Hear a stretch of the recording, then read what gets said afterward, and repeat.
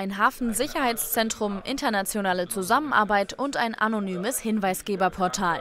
Damit möchte die Allianz Sicherer Hafen aus Vertretern der Sicherheitsbehörden und Hafenwirtschaft den Drogenhandel eindämmen.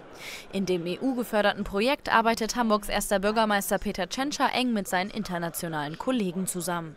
Wir sehen in Rotterdam und Antwerpen, wenn wir von Hamburg aus blicken, was uns bevorstehen würde, wenn wir nicht mit Entschlossenheit gegen den Drogenschmuggel in unserem Hafen vorgehen. Denn Antwerpen und Rotterdam sind seit vielen Jahren betroffen von großen Mengen an äh, insbesondere Kokain, das aus Südamerika über ihre Häfen nach Europa transportiert wird. Und das geht einher mit ganz schlimmen organisierten Kriminalitätsstrukturen, die dann auch andere Bereiche, die im Grunde die gesamte Gesellschaft dann erreichen. In den vergangenen fünf Jahren haben sich die jährlich sichergestellten Kokainmengen in Hamburg verzehnfacht. 2023 waren es 35 Tonnen. Dabei spielen Insiderinformationen von Hafenarbeitern eine große Rolle. Das LKA setzt deshalb auf Beratung und Prävention. Wir zielen darauf ab, die Mitarbeiterinnen und Mitarbeiter im Hafen zu sensibilisieren und zu warnen. Jeder, der dort tätig ist, kann in das Visier des internationalen Drogenschmuggels geraten.